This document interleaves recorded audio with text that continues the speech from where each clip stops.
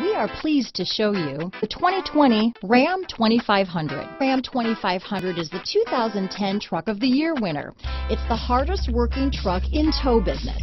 This vehicle has less than 100 miles. Here are some of this vehicle's great options. Traction control, dual airbags, leather wrapped steering wheel, power steering, four-wheel disc brakes, center armrest, power windows, electronic stability control, trip computer, fog lights, compass, panic alarm, remote keyless entry, overhead console, tachometer, brake assist, rear view camera, front reading lamps, tilt steering wheel. Is love at first sight really possible? Let us know when you stop in.